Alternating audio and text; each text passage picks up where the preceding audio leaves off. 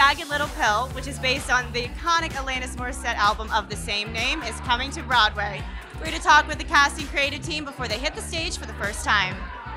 Everybody who knows this album knows how potent it is and how powerful it is. What is so revelatory is that the album was written in the 90s. It takes us back, and yet it feels actually like it was written yesterday for today. It is a family drama. Um, and as with every family, I think like there's plenty of dysfunction.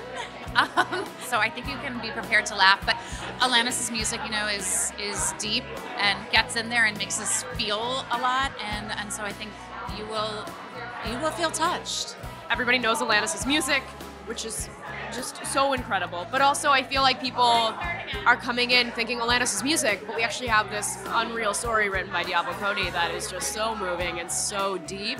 Alanis and most of the creative team would agree that what it's really about is the power of communication and sharing, and the irony in the fact that uh, sharing your deepest, darkest fear with the people you love is actually one of the bravest, strongest things you can do. It has been the most healing experience. That's the word that I find. It's just this story is so important, and I learn so much every day with this cast community. So being able to work with this group of people has been such just the most incredible process. I love them all so much. I think that this show reflects the world we live in in a really beautiful way. And I think if you've listened to Alanis's music, it runs the gamut from every emotion. And she's such a brilliantly honest songwriter. And I think that that's what you're going to find in the show. That is a show about, you know, life.